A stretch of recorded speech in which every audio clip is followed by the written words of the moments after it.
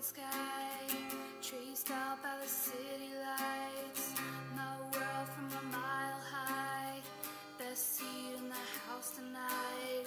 Touchdown on the cool black tile, hold on for the sudden stop.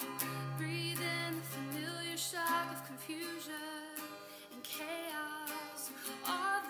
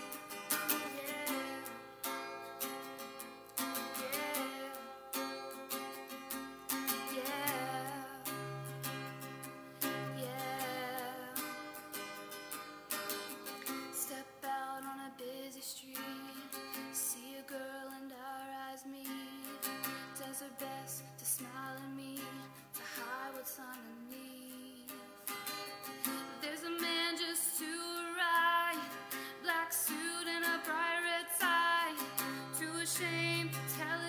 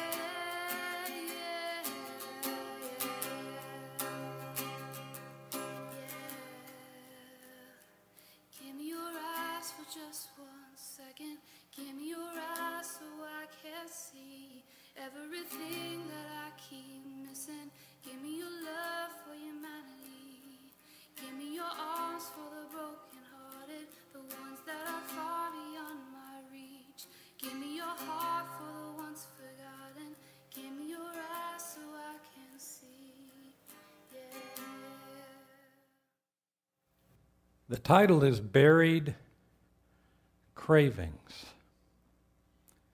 Would you turn with me in your Bible to Numbers chapter 11? Numbers chapter 11. Now, let me say while you're turning something about the name of this book. It doesn't sound too exciting. Numbers. Sounds like a math book, sounds like a telephone book. Actually, what the word means, numbers, is census. Most of you got a letter last week saying you were going to get your census in the mail and you need to fill it out or somebody's going to knock on your door. The 2010 census is here. This book opens with the census. They were at Mount Sinai, and the Lord said, Tell me, how many men do you have 20 years of age and older from each of the 12 tribes who can go to war? And they counted them up, and they had 603,550. And then later on, near the end of this book, in chapter 26, I believe it is, after 40 years of wandering around, God said, You're getting ready to go into the promised land, take another census. And lo and behold, they had less men of fighting age than they had 40 years earlier 601,730. What happened? They didn't grow because God had to come down every now and then and punish them. At one point, 24,000 at a time died of a plague. So you could call this book a book of census. Um, I prefer to call it by an older title, the Book of Wanderings, Because between the first census and the second census, you have 40 years of going around and around and around because of their lack of faith and disobedience. But this time through, I've noticed something else. They wondered and wondered and wondered because they kept whining and whining and whining. They didn't like the food. They didn't like the leadership. They didn't like the water. They had too much of this and not enough of that. So I believe now I would call it the book of wonderings and whinings.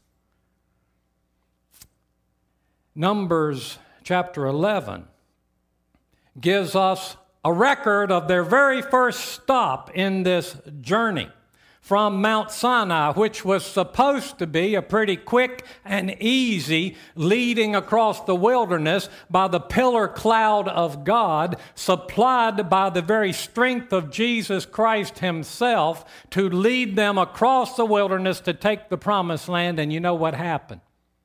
But before they ever got to the promised land, and said they're like they're like giants in our eyes, and we're like, grass, they're, we're like grasshoppers in their eyes.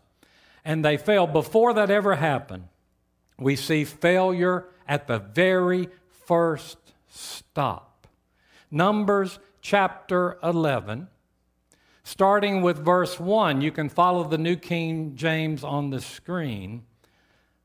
Now, when the people complained, let me just stop right there. Take note of this. This is not a good way to begin a journey with God, to possess the promised land. They had only been out from Mount Sinai three days, and the pillar cloud of God's presence stopped and they made camp. Why? Because the people complained. It doesn't tell us what they complained about, it was probably their food.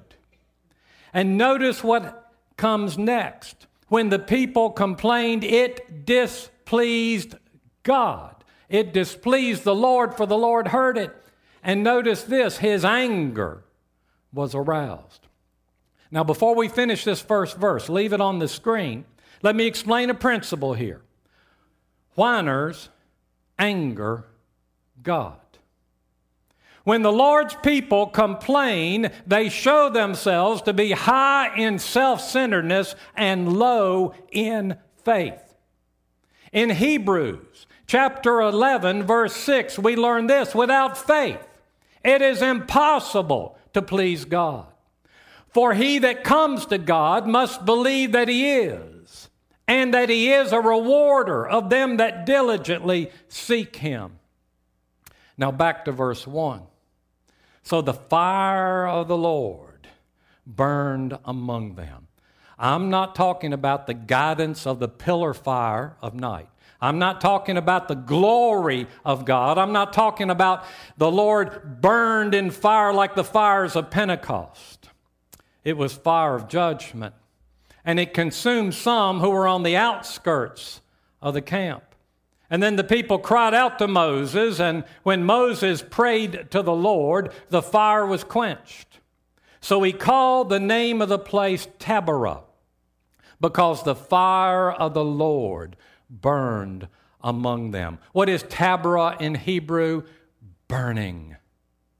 There is some repentance here, but the question must be is there repentance that is godly? Repentance that leads to transformation. If not, then we can expect the whining and the complaining will very shortly manifest itself again. That takes us to verse 4.